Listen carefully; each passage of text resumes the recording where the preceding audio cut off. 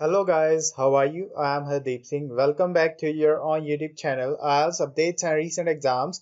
For more updates related to recent IELTS exam, writing test topics, listening, reading, actual test and speaking, you can guesswork. Please guys participate in everyday listening and reading practice test to achieve your desired band score in your actual IELTS exam. Please hit the like and subscribe button. Press the bell icon for the upcoming notifications. Don't forget like, subscribe and share my YouTube channel and my Facebook page, IELTS updates and recent exams. So now guys, today we are going to talk about IELTS morning slot writing task two 26th February 2022. Let's begin IELTS morning slot 26th February 2022 India writing task 2. So now guys, today's writing task 2 question is people nowadays tend to have children at an older age. Do the advantages outweigh the disadvantages? So guys, in this writing task 2, the examiner put question, these days mostly people prefer to children at an older age. Do the advantages outweigh the disadvantages? So guys, we will discuss both the factors in the upcoming paragraphs. Let's begin the intro.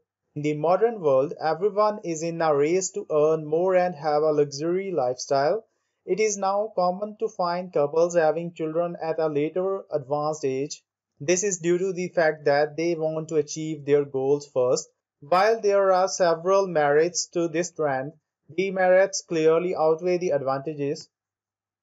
Let's begin the body paragraph 1. People have their own reasons to have babies in the 30s or 40s. The most important among them is the desire to achieve financial independence before they become parents Parenthood brings with a lot of responsibilities. Since young couples are unlikely to earn much, many of them are not financially ready to welcome a baby. Hence, they choose to have children at an advanced age. Let's begin the body paragraph 2. However, this development has a lot of demerits. The prominent one is that it causes a plethora of health problems if they are preferred to have children at an older age this is due to the fact that fertility decreases in both men and women as they aged. Thus, these reasons sometimes lead to problems between couples and sometimes it could even result in divorce. For example, many couples who decide to start family at a later age eventually opt for adoption because of their ability to conceive. Also, babies conceived at an advanced age are more likely to suffer from genetic problems like down syndrome. Hence, it is proved that having children at an older age may be deleterious for both the parents and the child. That is why I consider that this trend has more demerits than advantages. Let's begin the conclusion. To conclude, although there are a few merits having babies at an advanced age, in my opinion, this is a negative development because of the increased risk of infertility and health problems in both the mother and the baby.